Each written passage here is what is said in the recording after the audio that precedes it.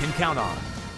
New details in the case against the man police say packed his home with enough explosives to blow up his neighborhood. Valencia County Sheriff's deputies have charged Joe McFarland with possession of explosives. Action 7 News reporter Christy Aletto has more on what was in his house and exactly how McFarland got his hands on it.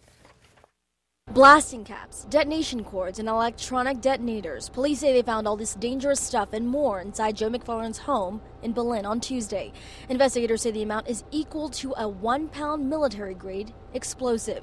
It doesn't make sense why he would have that much explosives for hobby or for. I mean, it doesn't make sense why he would have that much stuff. McFarland reportedly told police he used to be an explosive specialist in the military and worked on the bomb squad for North Charleston Police Department in South Carolina. McFarland says the explosives came from that department and he got them when he left.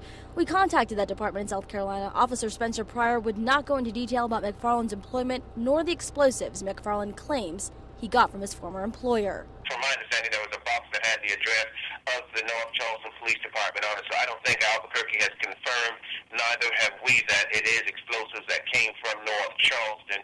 But deputies say they had to come from somewhere. I think that's going to be part of the investigation as well, is to follow up with the, the North Charleston Police Department to determine whether or not these items were given to him or if it's practice for them to go ahead and let their officers take explosives home or what? In Belen, Christy Aletto, KOAT Action 7 News. The Valencia County Detention Center says McFarland is out of jail after posting a $5,000 cash bond.